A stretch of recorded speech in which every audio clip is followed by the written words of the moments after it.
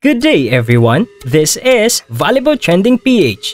I am Tumnik Balabat, voice artist of this channel.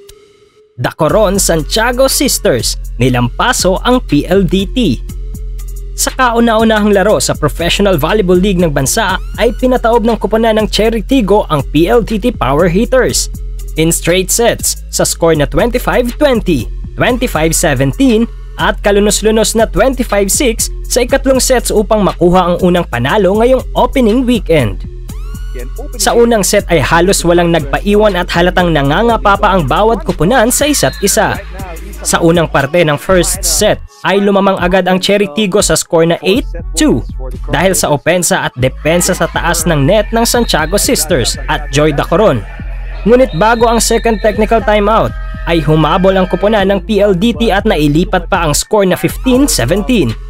Ngunit hindi nagpatinag ang Cherry Tigo at nakuha ang first set sa score na 25-20.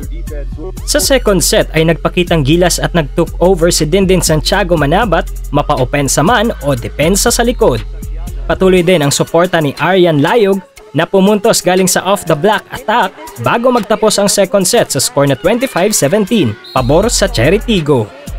Sa pangatlong set ay hindi na nakabangon ang kuponan ng PLDT dahil sa di mapigilang opensa at depensa ng triple tower ng Cherry Tigo.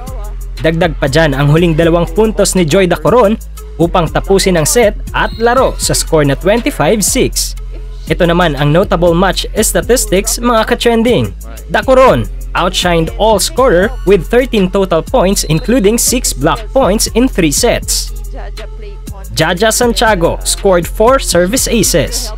PLDT with 0 black points the entire game. Dindin Jaja scored 12 points and 11 points respectively.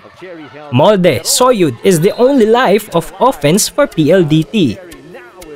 Buding Duremdes impresses anew with her steady defense.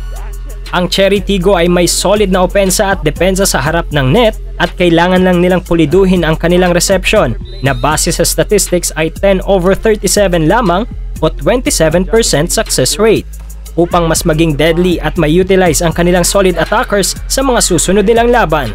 Inaasahan ko din sa susunod na laban ang isang breakout game ni Maylin Paat na isa sa mga inaabangang manlalaro sa kupunan. Sa laro naman ng PLDT ay talagang nakakaawang tignan ang kanilang veteran setter na si Rhea Di Maculangan dito. Lumabas na sila ay isang kupunan na bago pa sa isa't isa. Wala rin halos opensa ang kanilang mga middle blocker na dapat ay tumapat sa strong middle ng Cherry Tigo. Ang zero black points in 3 sets ay talaga namang nakapanlulumo na lalong nagpabagsak sa moral ng mga manlalaro ng PLDT. So that's it for today's video mga ka-trending. Don't forget to subscribe at pindutin ang notification bell para ikaw ay maging updated sa aking upcoming videos. Thanks for watching! Bye!